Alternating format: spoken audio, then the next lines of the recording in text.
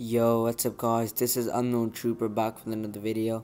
So guys, um, in today's video I'll be showing a duplication glitch with a glitch home base. If you guys don't know how to glitch your home base, make sure you guys uh, check that video. It's gonna be a link in the description.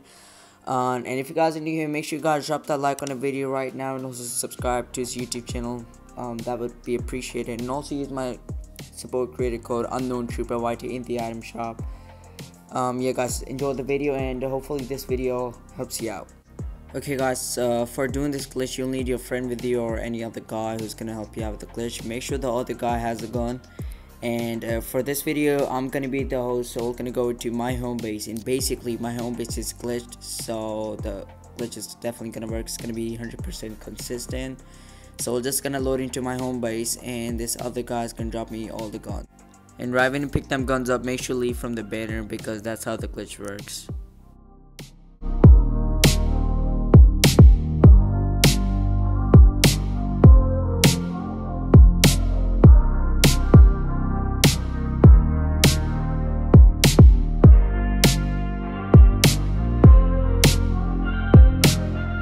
Okay guys, so right when you load out, you have to join the other guy who dropped you all the guns. So for this glitch, I was the host and he dropped me all the guns. So we're gonna join the other guy who dropped me all the guns and he's he is supposed to have the same exact guns that he dropped. So he's gonna basically glitch his backpack and he's gonna have all the guns and I'm gonna have them too. So as you guys can see I have all the guns and he said that he also got them too. This glitch is definitely gonna work and don't forget to um, glitch your home base. Make sure you check that video out